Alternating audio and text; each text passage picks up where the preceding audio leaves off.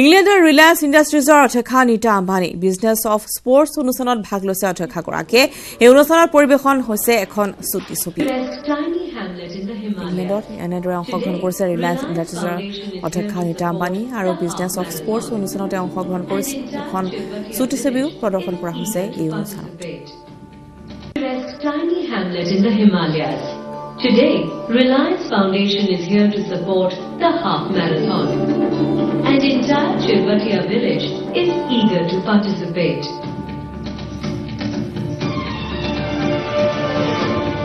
लड़कों को बहुत ज्यादा अहमियत मिलती है लेकिन लड़कियों को बहुत कम मिलती है आज मैराथन रेस में वो अपनी ये पहचान बता दें कि लड़कियां किसी से कम नहीं शुरुआत रिलायंस फाउंडेशन द्वारा की गई इस तरह के मैराथन की इस क्षेत्र में जो प्रतिभाएँ हैं वो में की तो निश्चित रूप से बहुत ही ऐतिहासिक है। आज की जनरेशन क्या है सब बाहर जाना चाहती है। लेकिन अगर हमारे गाँव में फैसिलिटी है तो हमारे गाँव वाले यहाँ पे ज़्यादा रहेंगे। A very good afternoon and warm greetings to each and every one of you. It is an honor for me as an Indian and as a woman to deliver a keynote address before this global gathering of leaders in sport. I come from the land of Buddha, Tagore, Mahatma Gandhi and Mother Teresa. I represent the dreams, hope and aspirations of a billion Indians. India is home to one-sixth of humanity.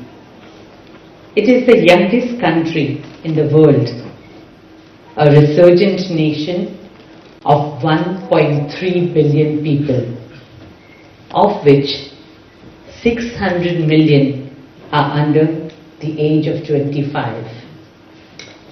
If the youth of India were a country by themselves, they would be the third largest country in the world. India is truly at a point of inflection, a country whose time has come.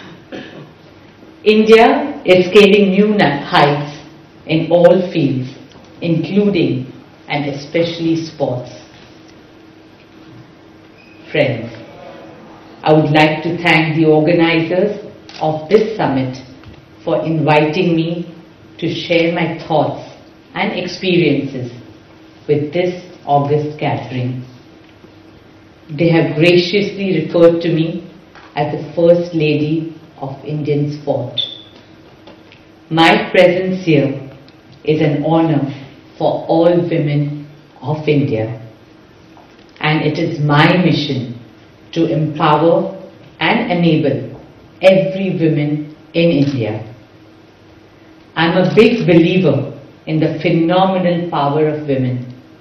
I believe that when women lean on women, incredible things happen.